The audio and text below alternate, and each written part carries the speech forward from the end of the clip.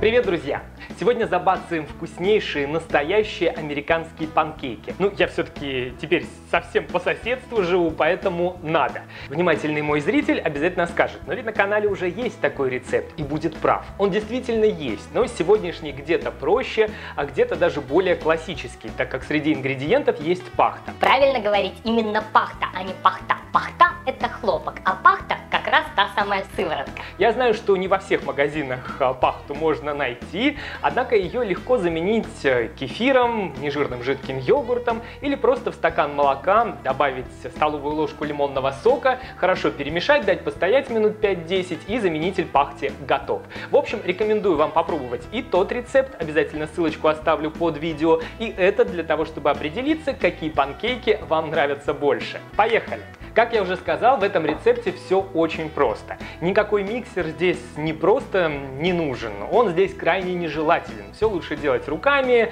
венчиком, для того, чтобы панкейки получились более пышными. Первым делом просеиваем муку, насыщая ее кислородом, чтобы панкейки получились более пышными. Добавляем разрыхлитель, немного соды, чуть-чуть соли и сахар. В зависимости от того, насколько сладкими вы хотите получить панкейки, его можно добавить побольше или поменьше. В общем, тут дело вкуса. Все хорошо перемешиваем с помощью венчика и в середине создаем такой небольшой кратер, углубление. Пока сухие ингредиенты в сторону, в отдельной миске смешиваем пахту и яйца.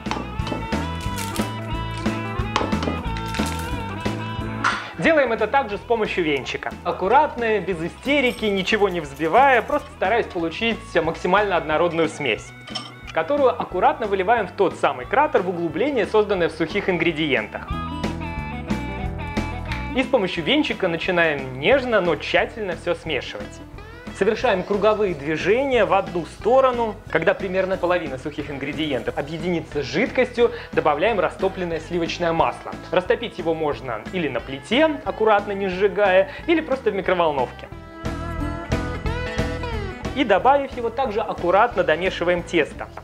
Перемешивать тесто, усердствовать с ним а, ни в коем случае не нужно, иначе панкейки получатся плотными, совсем не нежными и не пышными. Именно по этой причине рекомендуется делать все руками и не использовать миксер.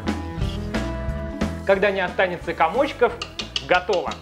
Тесто необходимо использовать сразу. Если вы приготовили большой объем, лучше разделить его на части и одну часть отправить в холодильник, пока используете другую. В идеале оно должно быть охлажденным, опять же, чтобы панкейки получились более пышными. Для того, чтобы тесто, которое мы используем, тоже было слегка охлажденным, миску с ним можно поставить в чашу с холодной ледяной водой, можно даже побросать туда кубики льда. Выпекать панкейки лучше на сковороде с хорошими антипригарными свойствами. Если таких не имеется, можно немного смазать ее растительным или сливочным маслом, но совсем немного. Панкейки должны хорошо пропекаться, а не жариться в масле, как обычные оладьи. Ставим сковороду на средний огонь для того, чтобы она прогрелась равномерно. И как только она хорошо разогреется, отправляем туда тесто небольшими порциями. Можно выпекать одновременно несколько панкейков. Когда поверхность начинает пузыриться, где-то через 1-2 минуты панкейк переворачиваем и пропекаем с другой стороны еще минуту-полторы. И учитывайте, чем больше в них сахара, тем быстрее они будут подрумяниваться.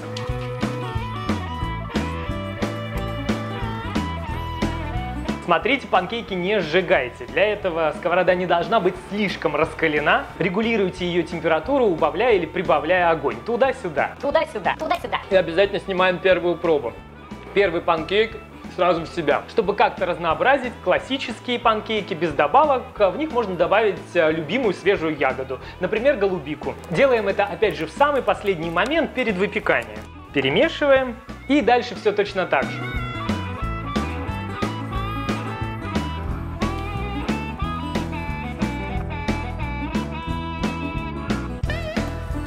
Не стоит делать панкейки слишком большими, так их будет сложнее переворачивать.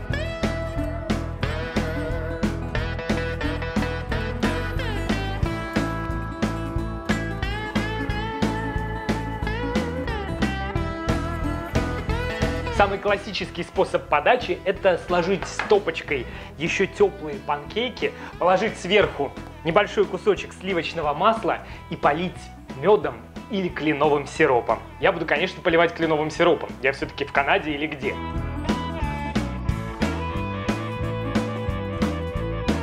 Ну а дальше рядом с панкейками можно поставить э, взбитые сливки, сметану, мед, кленовый тот же сироп, варенье, конфитюры, все что угодно. Главное, чтобы вам было вкусно.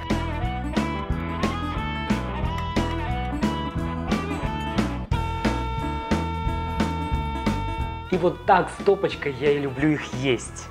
Да-да, вся горка для меня. М. М. М. Идеально. Нежные, пышные, в меру сладкие, кислинка голубики с кленовым сиропом. Это просто обалдеть.